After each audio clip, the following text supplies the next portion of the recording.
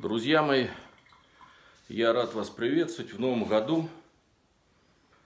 Я надеюсь, что Новый год для вас прошел в хорошем настроении, что встретили вы его радостно, весело, что все ваши желания сбылись или сбудутся, ну и что ваше здоровье э, осталось хотя бы не на прежнем, но более-менее нормальным, но уже привелось в чувство.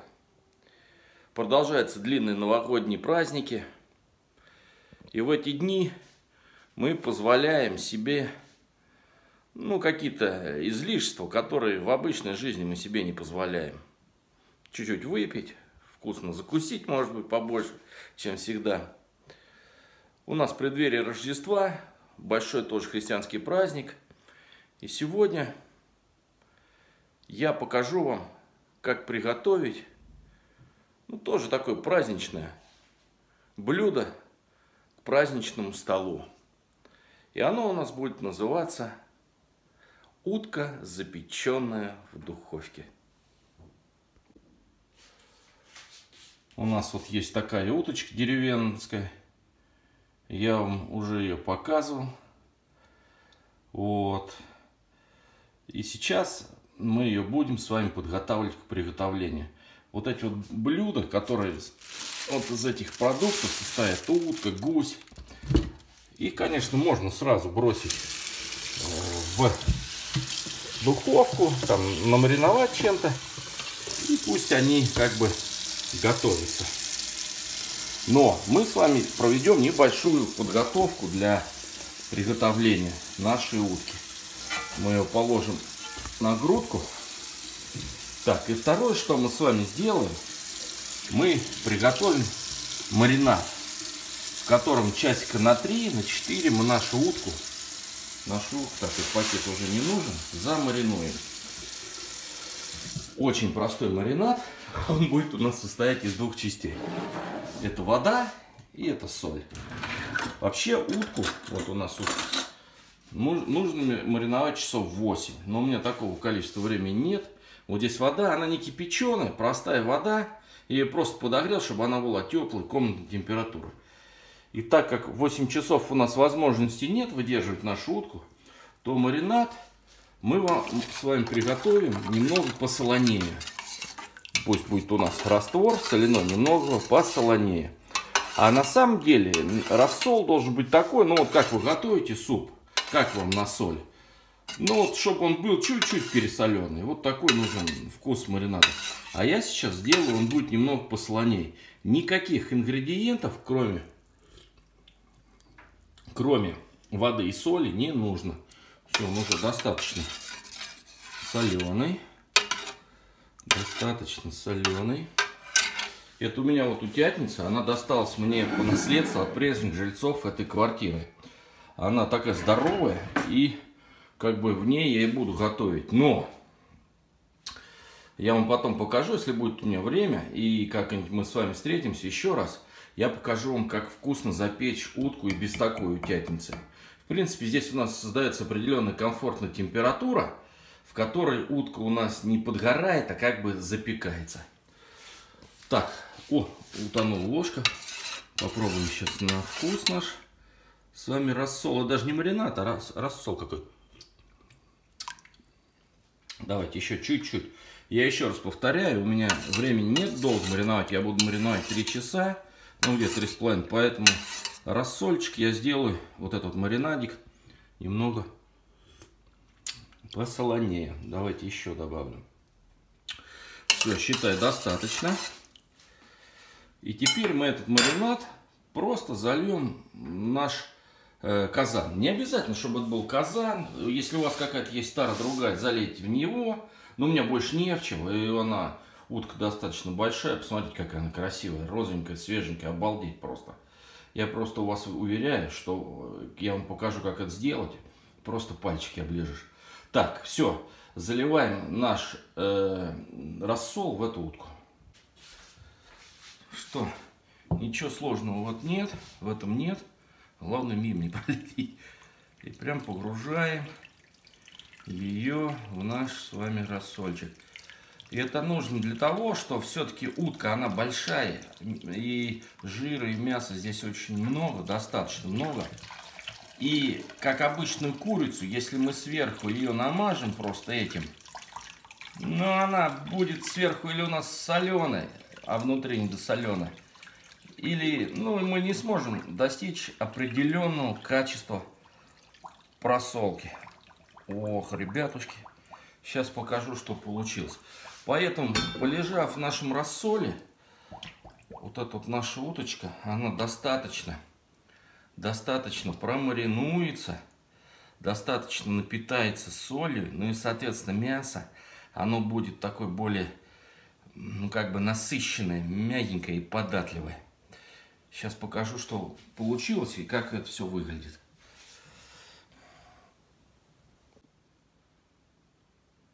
Смотрите, что получилось. Вот она у нас принимает ванны. Ну, все. Закрываю я ее. В моем случае это примерно...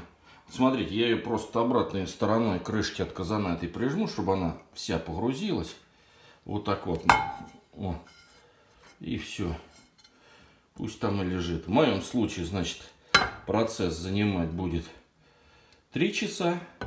Но так желательно, чтобы часов 8 она там полежала. Все. Ребяточки, я прощаюсь с вами на 8 часов. Сорян, друзья, на каких нафиг 8 вообще голова не соображает. Три часа я буду мариновать, и я напомню, рассол я сделал немного посланнее. Прошло три, я вот смотрю, с половиной часа. Вот так у нас в Казани лежала наша... Ой, елки-палки, чуть стакан не разбил. Утка в соляном растворе. Значит, еще раз напоминаю. Он нам нужен для того, чтобы чуть-чуть утка у нас просолилась. Чтобы мясо стало более мягким и податливым. Также она, соль, вот этот раствор, вытягивает лишнюю, э, как бы сказать, кровь ну и размягчать немного вот эту вот кожицу, которая все-таки плотная. Все, он нам больше не нужен. Мы его выливаем. Дальше он нам не понадобится. Все, давайте сейчас выльем его и дальше продолжим. Так, все, мы слили наш рассол. И теперь вот вы возьмите прям бумажное полотенце. И нам необходимо эту уточку всю обсушить. Лишняя вода нам ни к чему. Сверху, сейчас вот все под крылышками, тут под ножками. Я вам хочу сказать, вот она уже приобрела, вот она раньше была у нас все-таки немного плотновато, жидковато, а сейчас мясо в результате вот нашего раствора соляного, просто соли, в котором мы ее продержали, оно приобрело, ну вы понимаете, оно как бы уже как бы мягкое, уже просто в руках вся растекается. Все, и вовнутрь я сейчас лезу. И там тоже вот эти вот лишние, видите? Ну там может быть кровь чуть-чуть осталась. Ничего страшного этом нет. Все, смотрите, она сухенькая у нас и чистенькая. Вот этот этап у нас закончится. Дальше. Я сейчас обрежу вот эту вот гуску, она нам не нужна. Но больше здесь, я смотрю, жировых нет особых таких у нас, как бы, моментов. Есть отрезать вот эту вот шею, но я ее отрезать не буду. Дальше. Теперь э, схожу вам э, следующее. Ну ладно, сейчас давайте я сейчас это обрежу, и мы будем эту э, утку натирать солью и перцем. Для натирания, значит, я приготовил такую смесь. Естественно, соль, перец красный, жгучий, паприка и черный молотый перец. Но это так, у меня были перцы, я их просто добавил. На самом деле можно соль и черный перец. Лучше, конечно, свежемолотый, но это не критично. Так, теперь дальше. И мы начинаем вот этой вот смесью, не спеша, нашу уточку и натирать. Вы можете мне сказать, что типа мы же как бы уже просолили, не пересолится ли она. Я вам хочу сказать, что утку пересолить практически невозможно. В ней очень много жира. Все это впитывается. Так, переворачиваем. Тоже это. Втираем. Для того, чтобы, может быть, прилипало. Я вот даже не знаю. Можно, конечно, добавить и э, масло подсолнечное вовнутрь. Все вот, да. Все внутри промазываем этим солевым раствором. Вот смотрите, я предвижу ваши вопросы, а где же там медовая заправка на уровне соевого соуса, меда, там для раз... это, терияки, все это будет. Но утка у нас готовится примерно 3 часа. И если мы сейчас все это закинем, а у нас еще будет начинка, то вот этот весь терияки, это же сахар, он весь у нас сгорит, и утка потемнеет, будет черный. Поэтому все это мы будем делать после двух часов, а именно вот эту вот нашу медовую заливку добавлять будем после двух часов приготовления утки. Все, давайте сейчас я возьму все это промажу качественно двумя руками и потом включимся, когда будем готовить с вами начинку для нашей утки. Итак, наша с вами начинка. Апельсины и яблоки. Как у вас, как вы догадались, у нас будет утка Э, начинка состоит из апельсинов и яблок. Но прежде чем мы будем нарезать нашу начинку, мы первым делом давайте снимем для дальнейшего, не для сейчасного приготовления, а для дальнейшего обмазки маринада, мы снимем с апельсинов цедру. Ну, я думаю, ничего сложного в этом нет. Вот мы берем наш с вами апельсинчик и прям верхний слой до белого не добираясь Прям на терочке берем и снимаем цедру. У нас есть два апельсинчика. Вот с двух мы эту цедру сейчас и снимем. Прям не спеша, это все достаточно просто. Ухо, запах уже. Вот от этой цедры, конечно, здесь очень много. Наверное, вот этих масел, это масел прям идет просто бомбически. Представляете, утка, она все-таки любит вот эти вот цитрусовые тона, которые мы ей и дадим. Ну вот смотрите, сколько у нас получилось цедры. Все, мы ее сейчас уберем в тарелочку. Вот в это. Ну не скажу, немало. Вот прям сложим ее сюда. Вот она. Все. Ну и теперь мы приступаем, приступаем к изготовлению нашей начинки. Это, как вы поняли, у нас яблоки и апельсины. Так, я что-то убрал зря. Все, значит, яблоки у нас простые. Лучше, конечно, кислые. Мы их прям вот так, смотрите, раз. И, э, блин, задел чтобы косточки нам, ну, не нужны. Зачем? Вот такими вот дольками, смотрите, режем мы Вот.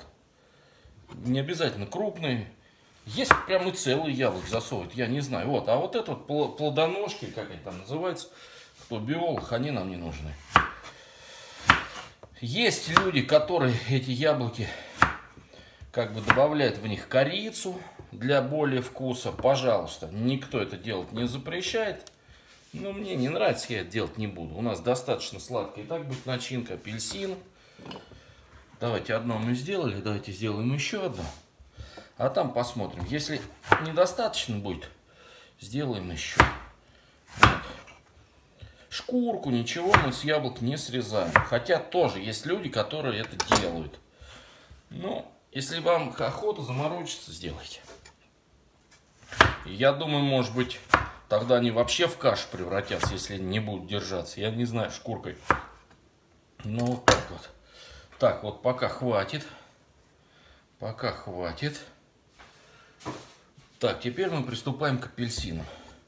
Тем же макаром, такими же кусочками мы с вами дольками, вот они, режем апельсин. Помните, была такая детская пословица, мы делили апельсин, много вас, а он один. Ну так вот, что-то он какой большой, что-то напополам, ничего страшного. Все, вот он. Давайте я вот так напополам, а то я боюсь вот так вот. Я в дольке и долька еще напополам. Боюсь, какие-то они такие куски получились здоровые. Он длинный апельсин. Он будет как бы себя не очень там уютно чувствовать. Единственное, что я сделаю с апельсином с этим, я его немного, немного, прям немного в него и в яблоко добавлю соус терияки. Прям чуть-чуть так цедра нам не нужна. Я добавлю для усиления, чуть-чуть, для усиления, вот у меня соус терияки, для усиления вкуса, прям чуть-чуть. Все, достаточно. Больше добавлять не буду. Вот у нас уточка. Уже она, видите, вся промазана, вся готова.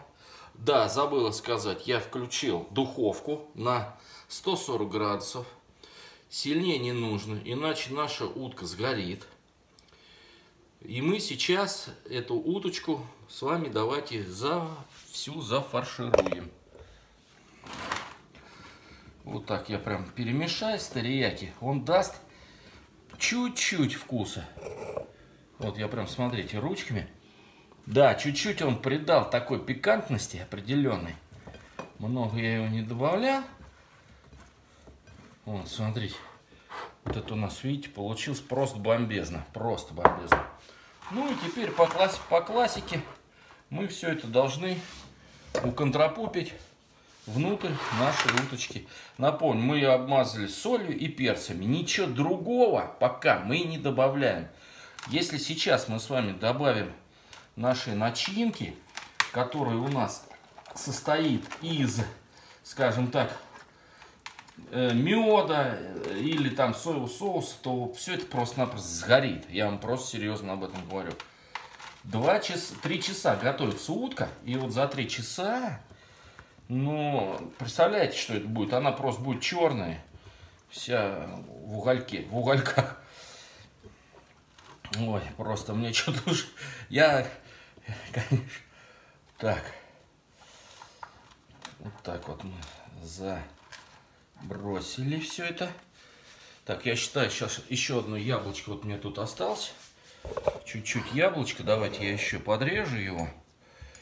Ничего страшного, хуже не будет. Там есть еще чуть-чуть места у нас в улочке. Думаю, она как раз вот этот кусочек, несколько яблок сюда и примет. Все. Ну, давайте еще апельсинчик, японский хоккеист, да? Сделаем с вами чуть-чуть апельсину. Цедру мы с него сняли, как я вам сказал. Все, и апельсину, чтобы прям дополна, полную коробочку. Все, вот у нас она утка. Сейчас я покажу. С немного руки обмою. Так, это пока нам не нужно. Руки мы сейчас вытрем. И я вам покажу. Вот смотрите, полная коробочка у нас получилась. И теперь для того, чтобы... Вообще нужно по классике все это зашить нитками. Нитку у меня нет никаких. Мы с вами сделаем проще гораздо. Мы возьмем зубочисточки. Вот они у нас есть.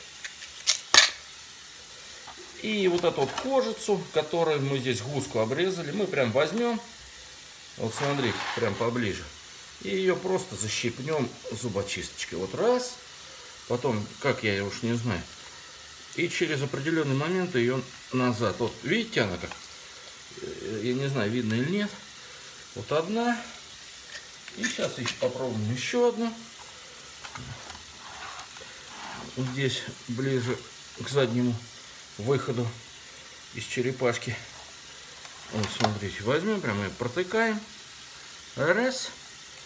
Еще раз говорю, она сейчас вот у нас мы ее с вами ошпарили, вернее не ошпарили, замариновали. И она получилась гораздо более мягкая кожица и податливая, что очень даже неплохо для нашего приготовления. Опа.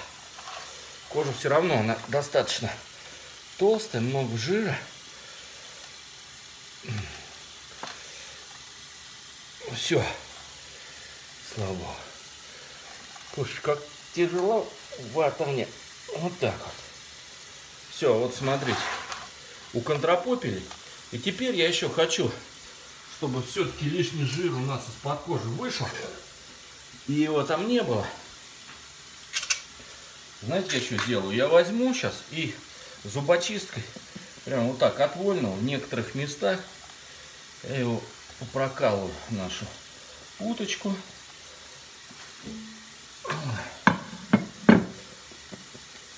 Вот, вот, вот.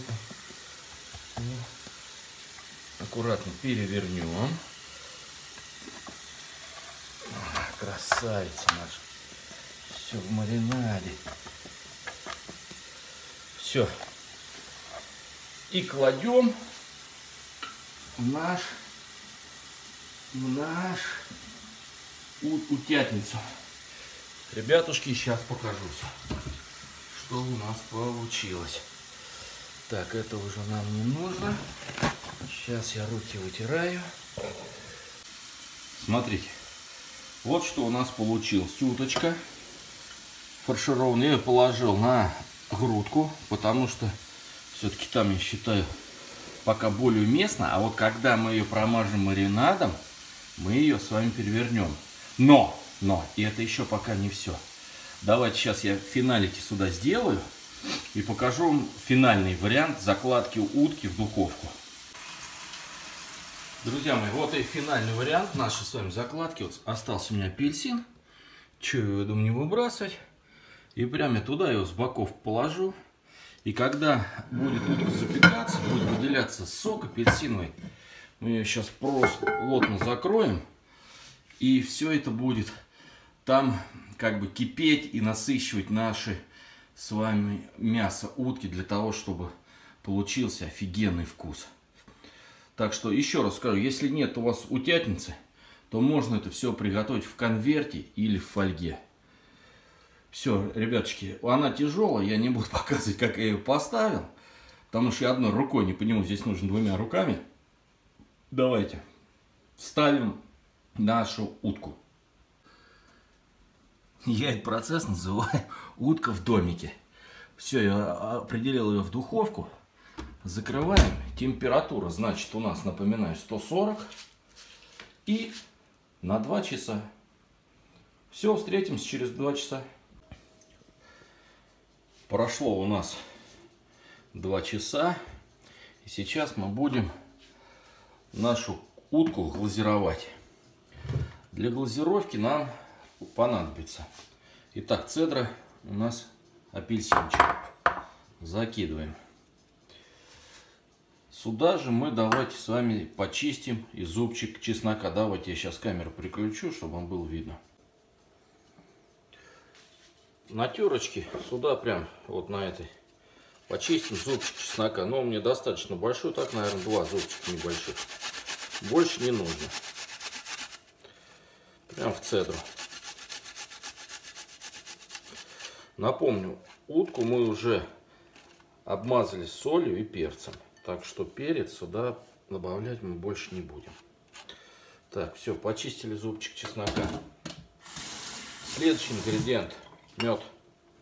Основание для глазировки. Он у нас постоял на горячей бане. Ну, такой он жиденький. Все, достаточно. Немного. Вот половину вот такой вот мисочки. Следующее. Соевый соус. Две столовых ложки. Больше не нужно. Все размешиваем. Сейчас покажу, что у нас с вами получится. Дальше. Тоже соус терияки. Столовую ложку.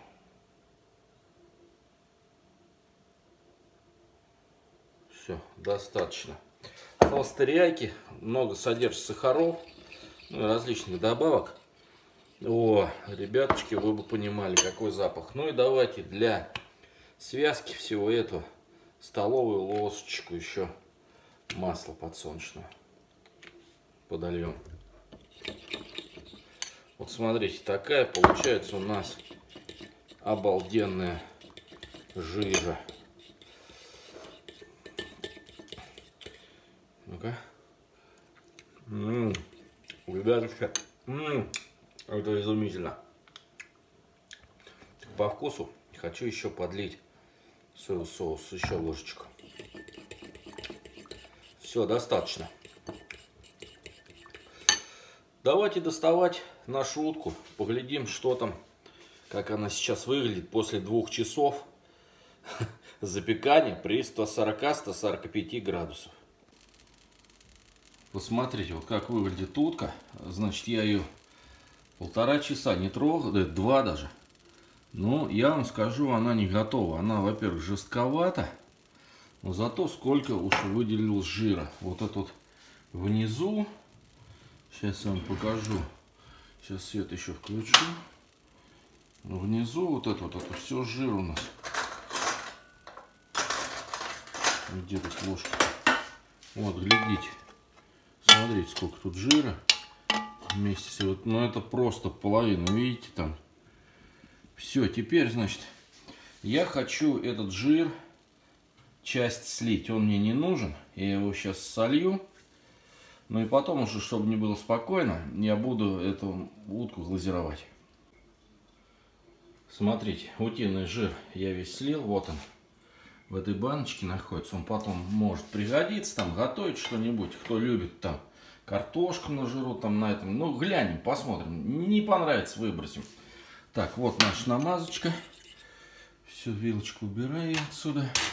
И вот уже она наша уточка. Ни жира тут, ничего уже нету. Я все вот баночку вот слил. Теперь, что у нас дальше процесс? Как идет вот кисточка? Напомню, у нас тут мед соус соевый. Потом у нас соус терияки, чеснок и лимонная цедра. Вот, смотрите. И всю ее густо-густо все это промазываем. Всю нашу уточку. Все, я сейчас буду промазывать. И по финалу мы еще раз включимся. Промазывание, не приготовление. Все, я ее глазировал. Посмотрите, уже сейчас, я вам хочу сказать, выглядит бомбезно. В духовке температура я увеличил до 180 градусов. Все, теперь я ее закрываю опять крышечкой. Смотрите, вот я все поставил, 170 на часок. Сейчас вот я заведу. Но я вам хочу сказать, у каждой духовки разные. Поэтому я вам советовал через полчасика открыть, посмотреть, как там дела. Дальше не буду я выветривать температуру. Все, закрываем. В моем случае я через полчаса посмотрю. Поставил, когда я в духовку нашу утку на час. Через полчаса проверил, вообще ни о чем. Через час проверил, тоже ни о чем. В итоге простояла она после глазировки 2 часа. Вот при вас, о, Открываю. Сейчас поглядим, что получилось. Может там все сгорело. Елки-палки, я же не знаю. Но запах так не сильно горелый. Сейчас вот прям смотрите. При вас все это и открывается. Вот смотрите. Ну я считаю, это бомба, друзья мои. Просто бомба. Ну-ка. Ну все, готово, да, да, все. Видите? Сейчас ее, в принципе, наверное, достать надо. Сейчас на тарелочке я достану и включусь тогда. Давайте мы ее сейчас выложим из нашего так называемого книгзана. А, я даже не знаю, как это называется. Вот смотрите. О! Ой, это горячо. Все, конечно. Сейчас мы аккуратненько. Нет у меня, к сожалению, вот такой. Блин. Ну-ка. Бомба. Я потом повыжу. Нет у меня, к сожалению, какой-нибудь мощной фиговинки, чтобы это все захватить. Но мы справимся и так. Вон. Смотрите. Друзья мои, какая красота, а? Давайте я вам покажу просто. Вот это вот ножки куриные. Вот как они выглядят и как они прожарились. Смотрите. Вот она. Она прямо отходит вся. Утиный, я что, куриный. Вот она, глядите. Просто песня. Это надо еще нам будет сфотографировать. Посмотрите. Она просто отходит от кости. Сейчас вот это нам мешает. Вот, смотрите, и крыло вот. Смотрите. Вот она. Глядите, вот так должна выглядеть утка. Помните, мы вот ее протыкали для того, чтобы вот этот жир, который под кожей, чтобы он выплавился весь, чтобы он не был лишним. Посмотрите, его практически под кожей не осталось. Вот она, тонкая кожица, и все. И весь жир мы убрали. Ну что, давайте мы сейчас сервируем сто, э, тарелочки с картошечкой. И потом в итоге покажем, как у нас будет выглядеть блюдо нашего, в блюде наша утка. Все. Ну вот, и финал, посмотрите. Все готово. Вот жареная картошечка на гарнир. Это у нас утка. Не смотреть, что это немного, э, как бы, тут пригаренки. Это ничего страшного. У нас же был все-таки мед. И это фигня, это просто кожица. На самом деле, посмотрите, все тут внутри классно. Просто супер. Садимся праздновать Рождество. Я не могу. Пошло слюноотделение. Ребяточки, празднуем, садимся праздновать Рождество. Это один из великих христианских праздников. Тоже хотелось бы выразить вам пожелание всего самого хорошего, любви, чтобы Бог вас хранил, чтобы в вашей семье был мир и достаток. Ну и самое главное, как я всегда говорю, здоровье.